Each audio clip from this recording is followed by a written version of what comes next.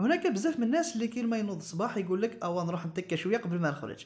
بمفهوم علمي هو أنه كاين بزاف من الناس يحسوا بالخمول سواء في la journée ولا كينوضوا صباح. يحسوا بواحد الكسلة والفشله إلى غير ذلك وهذا bien sûr ناتج عن مجموعة من الأعمال اللي حنا نقوم بها وقادرين نتفادوها.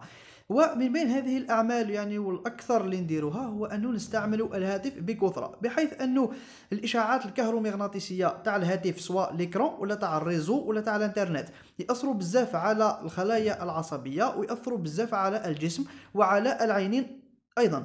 مما يجعل يعني هذو الإشعاعات تكون responsable تاع هذا الخمول اللي نحسوا به الصباح وخاصة استعمال الهاتف في الليل قبل النوم بحيث أنه الضوء يكون طافي والاشعاع الوحيد اللي يستقبله ال corps تاعنا هو الاشعاعات تاع هذا الهاتف. يعني كما قلت سواء الاشعاعات التي تنبعث من شاشات الهواتف ولا الحواسيب إلى غير ذلك وأيضا الاشعاعات الكهرومغناطيسية تاع ال réseau والإنترنت.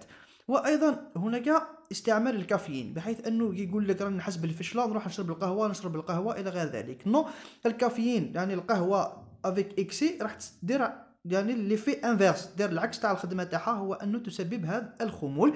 ولدينا أيضا أكيد الكسل عدم ممارسة الرياضة الأكل الزائد وخاصة الإكثار من السكريات ولدينا النوم المطول. يعني أنه الشخص كينام بزاف يولي يحس بهذا الخمول. يعني بخلاصة القول هو عبارة عن أشياء حنا اللي نديروها ونقدروا نتفاداوها ولا نقللوا منها باش نحسوا بنوع من النشاط الصباح كي نوضوا ولا durant la journée donc أول شيء هو أنه نحاولوا يعني نقصوا من استخدام الهاتف في الليل ولا كي ترقد حطوا mode avion وخاصة تنقص من الإشعاعات اللي متعلقة بال réseau كي ترقد. ونتمنى بأن النصيحة قد أفادتكم وللمزيد من النصائح أكيد المتابعة. وديما نقول ونعاود الوقاية خير من العلاج.